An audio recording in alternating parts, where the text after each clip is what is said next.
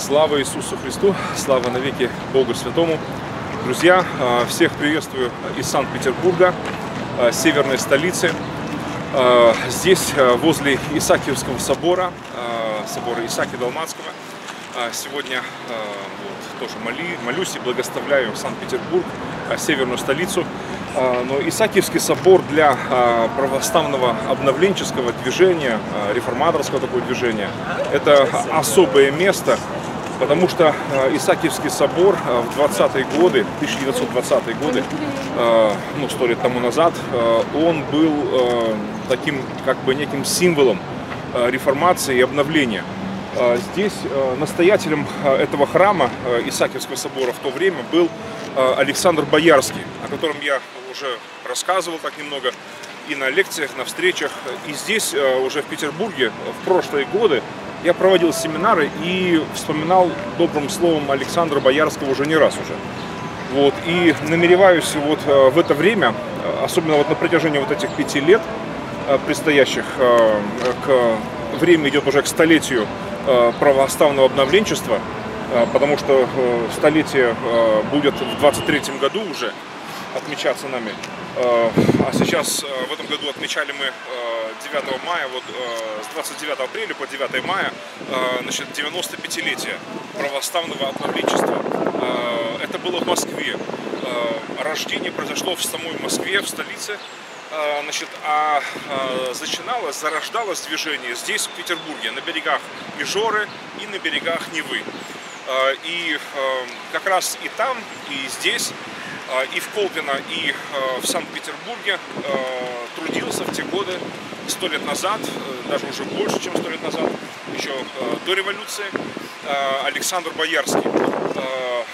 Тогда фамилия была Сигенюк, Александр Сигенюк. В 1916 году он взял фамилию Боярский. Жена его из древнего рода Баяновских.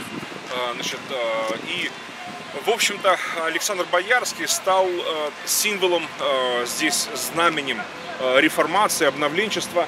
В 20, особенно в 20-е годы. Потому что, став настоятелем здесь, Исаакиевского собора, он вел здесь такую бурную деятельность, именно проповедническую. Кстати, евангельские христиане, собиравшиеся здесь неподалеку, здесь на конюшином, значит, на Малой конюшине, по-моему, собирались евангельские христиане, всех назывался, Всероссийский союз евангельских христиан.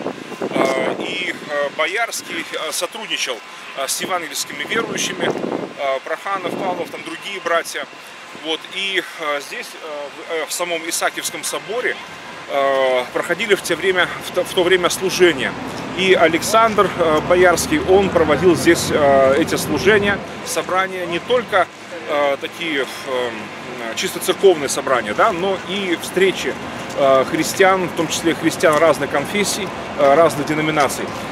И в Исаакиевском соборе, да, потом поэтому до самого закрытия а, этот собор был, был центром и символом именно перемен таких, а, которые происходили. Пусть тогда, в 20-е годы, это было и очень робко, очень так вот медленно, как бы, по чайной ложке, что называется, но, но все-таки это были уже движения. По сравнению с тем многовековым периодом вот этого застоя такого какого-то религиозного такого фанатизма, тоталитаризма, э, это было на самом деле ну, огромным прогрессом тогда.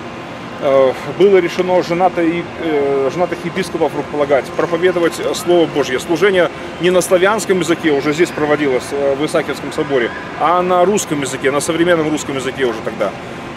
Переводил, кстати, службу тогда литургии, все ночное переводил а, Антонин Грановский. Он был а, епископом Наровским а, здесь, в Петроградской епархии, еще до революции. Затем он, он был как бы ну, на покое, ну, на пенсии, что ли. А уже сразу после революции он вновь здесь, в Петрограде тогда, трудился, служил и затем в Москве. И он умер в Москве, уже и похоронен там, он умер в 27 году, 1927 Э, он не дожил до начала вот этих э, э, огромных репрессий, гонений, но тогда, да, и в Москве он был, ну, как бы его офис там, его центр религиозный, союз церковный назывался «Возрождение». э, находился возле Красной площади, прямо возле, недалеко от Спасских ворот. Это, э, где сейчас Бум Цун, э, э, Зайконос, а, монастырь, да, Зайконоспасский монастырь. Там как раз, вот, в общем-то, и находилась его резиденция. Но а, в общем-то, начинал свое служение именно как реформатор, он здесь также в Петрограде. И тоже как раз вот в Исаакиевском соборе, а, когда здесь настоятелем был а, Александр Боярский. И также Александр Веденский здесь тоже, в этом же храме, тоже совершал служение, литургии тогда, 20-е годы. То есть все вот лидеры обновленчества тогдашнего, они так или иначе были вот связаны с этим собором тогда, в 20-е годы, 1920-е годы. Вот так вот, дамы и господа, э, братья и сестры, э, с Петербурга, с северной столицы. Всех вас приветствую и благословляю во имя Господа Иисуса Христа. Да благословит тебя Господь и сохранит тебя. Да призрит на тебя Господь светлым лицом своим и помилует тебя.